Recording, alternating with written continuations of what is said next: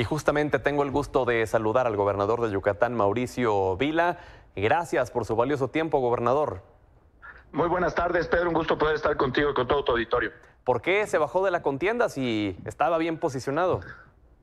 Pues mira, Pedro, son dos razones principales. Mira, en Yucatán estamos viviendo un momento histórico, con creciendo económicamente como nunca antes, más empleos generados que nunca en la historia, la mayor cantidad de inversión extranjera directa que hemos recibido. E, el 2022 fue el año que más turistas han llegado en nuestra historia. El 22 es el año más seguro de nuestra historia, con una reducción de la incidencia delictiva del 52%. Y hoy todavía tenemos proyectos importantes que concretar en Yucatán proyectos como la ampliación del puerto de Progreso, la construcción de tres hospitales, el nuevo sistema de transporte eléctrico Vaivén, que va a ser único en Latinoamérica. Y pues la verdad es que eh, por muchas ganas que yo tenía de meterme a la contienda, la realidad es que también creo que hoy la alianza no merece tener un candidato o candidata de tiempo completo, ¿no? El tema de ser candidato presidencial, además de ser un privilegio, exige una gran responsabilidad y la verdad es que los tiempos no se me acomodaron porque aunque el proceso de selección de candidatos, Pedro, no me obligaba a renunciar pues, el día de mañana, pero como tú ya viste el método, pues trae firmas, trae encuestas, trae una votación abierta y necesariamente habría que estar recorriendo todo el país a partir de ya para poder ser eh, competitiva. Entonces, en ese sentido, pues yo elijo quedarme en Yucatán, terminar bien lo que hemos empezado bien y sobre todo seguir, eh, pues ahora sí que eh, fomentando e incrementando este gran momento histórico donde estamos sentando las bases del Yucatán de los próximos 20, 30 años. Entonces, ¿fue por el método, por lo que decidió también en gran parte bajarse?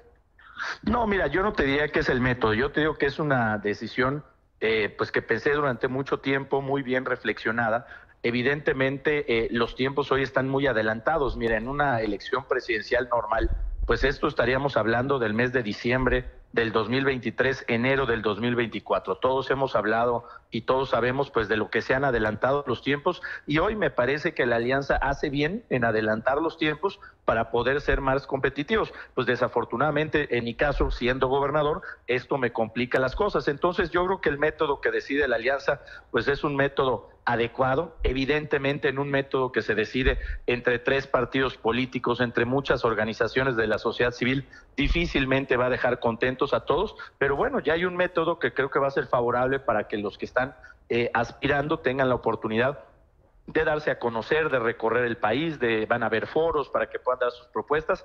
Así que yo creo que de aquí para adelante la alianza va a estar generando una muy buena eh, sinergia entre los aspirantes y cada día se va a volver más competitiva. ¿Buscará algo más en 2024?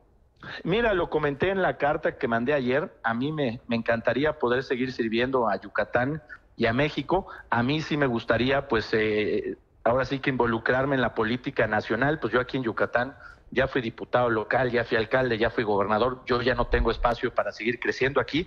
Así que pues la posibilidad de estar en el Senado, en la Cámara de Diputados, con posiciones de responsabilidad importantes, el mismo Partido Acción Nacional, que seguramente estará pues teniendo relevo en el 2024, son opciones que voy a estar valorando. Mientras tanto, seguir trabajando por Yucatán, consolidar los grandes éxitos que hemos logrado y por supuesto, ¿no? Como lo manifesté también, apoyar a cualquier candidato o candidata que salga de la alianza. Por supuesto que mi corazón está con los candidatos afines al PAN o panistas, que es a los que pues, yo voy a estar apoyando como ciudadano. Y bueno, pues esperemos a ver qué pasa y sobre todo esperemos que sea un proceso que nos vuelva más competitivos. Se lo pregunté cuando pudimos platicar allá en Mérida, se lo pregunto hoy de nueva cuenta. ¿No lo veremos como embajador en algún lugar?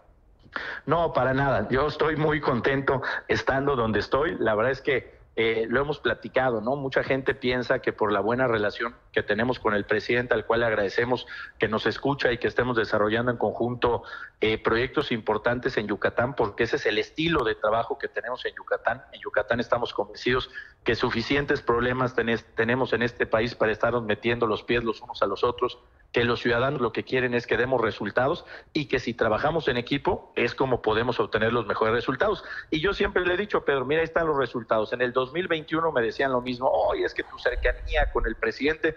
En el 2021, el PAN en las elecciones solito, sin alianza con ningún partido, ganamos 14 de 15 diputaciones locales y gobernamos al 78% de la población a nivel municipal. Entonces, yo siempre he dicho que lo cortés no quita lo valiente. Yo estoy enfocado en trabajar por Yucatán y lo demás, pues ya veremos adelante, pues qué oportunidades hay dentro del PAN y dentro de la Alianza. Oiga, ya por último, ¿no lo han invitado a irse con Morena? Escuchábamos a Mario Delgado decir que usted era el único candidato bueno que tenían. No, la verdad es que no, no me han invitado y tampoco estaría pues aceptando ninguna invitación que me hicieran. Pues, gobernador, gracias por estos valiosos minutos. No, hombre, al contrario, Pedro, un gusto poder estar contigo y con todo tu auditorio.